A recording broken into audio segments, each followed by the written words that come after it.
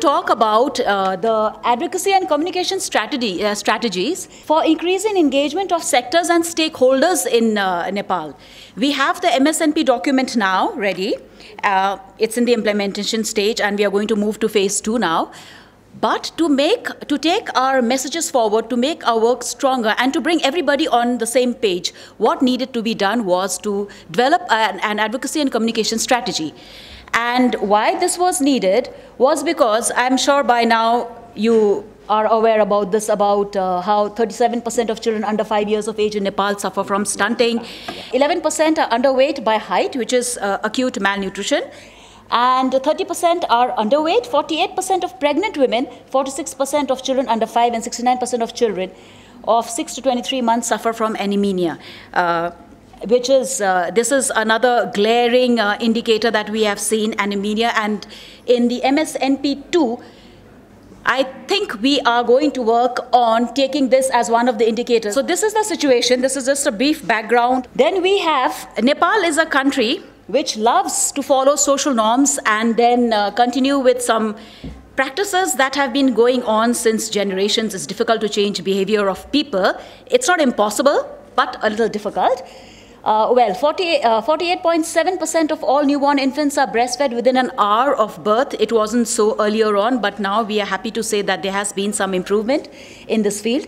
50% of children are exclusively breastfed mother's milk for six months. And although about 73% of children are fed supplementary food as soon as they attain the age of six months, it is not fed uh, regularly. And here also there is a, there is a, there is a, a, difference in a male child and a female child because there is a, a ceremony, a traditional ceremony which we follow in Nepal. And I think most of the Hindus follow this also in Asia. It is called Pasni, the rice feeding ceremony and uh, the time period for a male child is different than a female, which means the male child gets more time to be, uh, uh, breastfeed, right? Only about one fourth of children have been found eating fruit, green and leafy vegetables, and animal source food. And another, uh, another reason for uh, malnutrition is lack of availability of use of safe drinking water and sanitation. This has given rise to uh, ma malnutrition. Uh, and now, looking at national policies and plans that are in place, we uh, referred to the, the National uh, Nutrition Survey, High uh, Level National Nutrition Coordination Committee, 1977. So these were some of the documents that uh, the, the research had uh, taken place earlier. And of course, we are well aware about NAGA, which, which took place in 2009 and which was endorsed by the government in 2011 and this led to the development of the MSNP. The MSNP has specified a nutrition architecture, nutrition and food security architecture. And this is, uh, the pivotal role is played by the National Planning Commission. And under that, uh, uh, under National uh, Planning Commission, we have come up with, uh, you know, multiple, not multiple, three multi-sector technical working groups. And of course, you are well aware that we have the steering committee and we also have the coordination committee. Steering committee comprises of secretaries of the sector ministries and the coordination committee comprises of joint secretaries of the sector ministries. And of course, we have technical experts. Now, to support these two committees, we have developed three multi-sector technical working groups and advocacy and communication is one of them.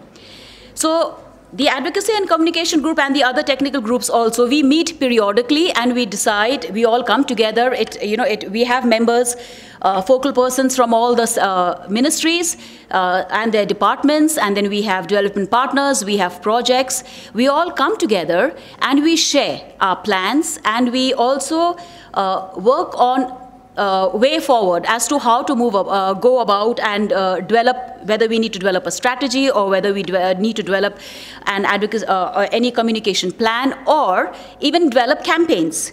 And we uh, all came together. We did a lot of uh, brainstorming, and then we decided we came. Uh, we we did a lot of let's let's say a write shop, where we thought the first thing we would do is develop an umbrella uh, strategy, like an overall umbrella for nutrition and food security, and uh, the uh, National Planning Commission later sent out a circular to all the ministries, concerned sector ministries, and all the development partners and projects asking them to, uh, to align their advocacy and communication strategy in line with the National Nutrition and Food Security uh, Advocacy and Communication Strategy that the National Planning Commission developed.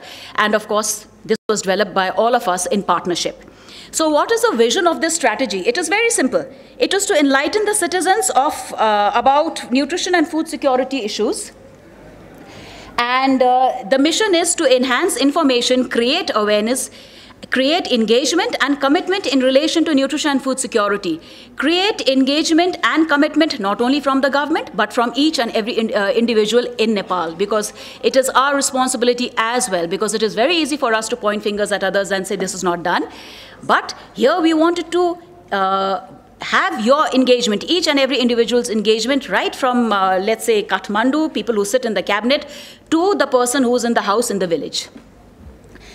So that uh, uh, this is the vision and mission, and the objectives is very simple. It is to make multi-sector stakeholders committed and dynamic, and also to enhance the demand for and support for and community commitments toward nut uh, nutrition-related services and food uh, security, to disseminate specific messages to address social values and practices, and to identify, encourage, and mobilize uh, role models to promote uh, positive behavior.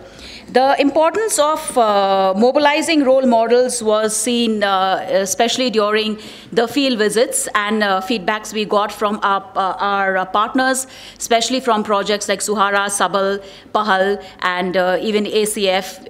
it was seen that at the district level, it is very important we have one or two role models who can influence the people, the community, and and also, you know, talk about good practices. So these were the specific uh, objectives that we had. And uh, the strategic tools. Now, we came up with objectives, we came up with the vision, and what were the strategic tools? We just thought of four areas to be uh, included in the uh, advocacy and communication strategy. The first one was advocacy. The second being social mobilization, the third being social values and norms and behavior change communication, and fourth was promotion of positive behavior by role models, groups, or organizations. So the overall, uh, uh, the, the overarching strategy that the National Planning Commission has come up with has very simple uh, vision, a very simple uh, mission, and I, I would also like to mention here that when we were developing this strategy, we took, we studied all the strategies that have been developed by projects and by uh, other uh, agencies and organizations. And we tried to see that it is aligned to this strategy that we were developing. Then we uh, realized what was needed. We didn't want something very complicated. We just wanted something very simple and just these four areas that we wanted to target specifically. What has helped, our advocacy efforts uh, has resulted in commitment from the government because uh, you know uh, recently on 21st april uh, 2016 we launched the uh, golden thousand days public awareness campaign. And this uh, was led by national planning commission but it was in partnership with various organizations. And uh, this was mainly in partnership with unicef and eu but the other stakeholders were also involved and this was one of the, I would say, good examples of a multi-sector approach of working together because we were coordinated and this, uh, this uh, launch was really very successful. And uh, the pres after that, the president in her policy speech included the importance of the Golden Thousand Days and it was also mentioned in the budget speech. What we also did is uh, we need uh, nutrition champions, but we needed somebody who was very popular with the public. We wanted a public figure. And so what uh, National Planning Commission has done is appointed uh, uh, Paras Khadka, who's a uh, Nepal uh, cricket uh, captain, for the Golden Thousand Days Public Awareness Campaign Ambassador and also the Golden Thousand Days Ambassador. So that was Paras Khadka. And luckily, when we were announcing Paras Khadka, he scored a century in Kathmandu. We were having uh, the series then. So he had just scored 100, and then he comes and he's, you know, ambassador. So that also added a feather to, to uh, us. Uh, so then also, Paras Khadka was not enough because uh, in the districts, in the villages, Paras Khadka is not that popular. Cricket is not that popular, though Indian cricket may be. But uh, so we also decided, uh, we felt the need for campaign promoters. So we have uh, appointed, announced three uh, popular artists, Deepak Raj Giri, uh, Jitu Nepal, and Deepa Shree Niraula as uh, campaign promoters. And they are now, you know, doing our television shows, which is going to go, which is being Uh, telecast uh, by uh, NTV and also through other channels. So these will also help us. from 1st to 7th in the breastfeeding week, I think we will be using our nutrition champion as well as the campaign promoters to spread uh, messages to create awareness about breastfeeding. We are also engaging with the media, reaching and teaching media. Media is very important. Uh, we are regularly uh, engaging them, we are you know, advocating them, we are training them and uh, about uh, how to talk about nutrition, to come up with articles on nutrition, to uh, talk about uh, success stories on nutrition and food security. And of course, we use the uh, social media as well. Now, how are we focused is from nation, we go to the region to province level, to the district, right up to the VDC, municipality, village and wards, and uh, then we go to the settlement and right, uh, we are hoping to penetrate into the house to where the mother is sitting with a baby and the family. We have also been actively engaging with uh, the Sun movement. Uh, you know that uh, we joined Sun in May 2011. The Joint Secretary of National Planning Commission Social Development Division is the Sun focal person. We are taking, we are participating in their regional events as well as global events.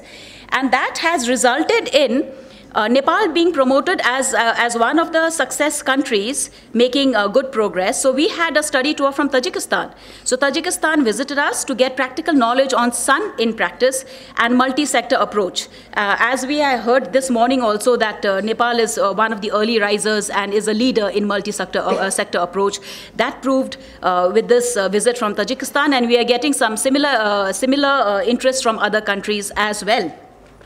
As mentioned earlier, the increasing investment in nutrition, yes, investment is increasing in nutrition. You can see this trend, which is uh, on the rise. Uh, the one that you see that is decreasing slightly, that is because uh, uh, this was during the uh, disaster. The nutrition cluster had also put in money for nutrition-specific activities, but after that, uh, this uh, there seems a slight decline. But in totality, there is an increase, and this this also includes the coming fiscal year's budget. That is for branding. This is the National Nutrition and Food Security logo for Nepal. And we have also developed a, a portal which is www.nnfsp.gov.np. We would want all of you to please use this portal. This is a platform created so that all of us uh, uh, share information, we can share experiences and uh, learn from each other. And there's another directive sent by National Planning Commission to all uh, ministries and uh, uh, sectors and other stakeholders for branding. If you're talking about nutrition and food security, this is the government logo which has to be used in all publication materials etc. So that is all I would want to say, but please do visit our uh, portal and make use of it. Thank you very much.